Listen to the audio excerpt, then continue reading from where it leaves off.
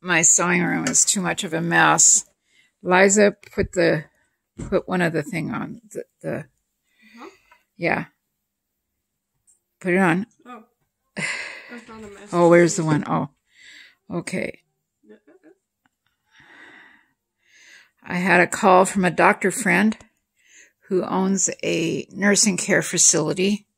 They have no mask, zero mask, and they were wearing handkerchiefs. He cannot get mask, and he was desperate. He told me, asked me if I would make some. He needs 60 masks. So I'm, Liza and I are making 60 masks. I have some Duck Dynasty fabric. We're going to keep making them until here to till, till doomsday.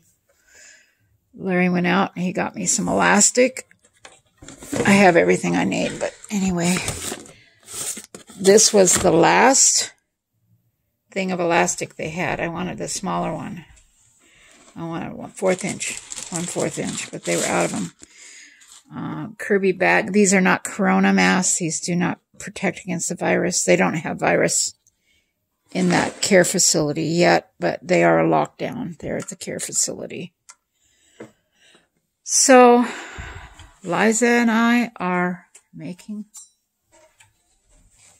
Hopefully, we'll get 60 masks out. We're we're doing them in steps because it's much easier. So anyway, thank you, Liza.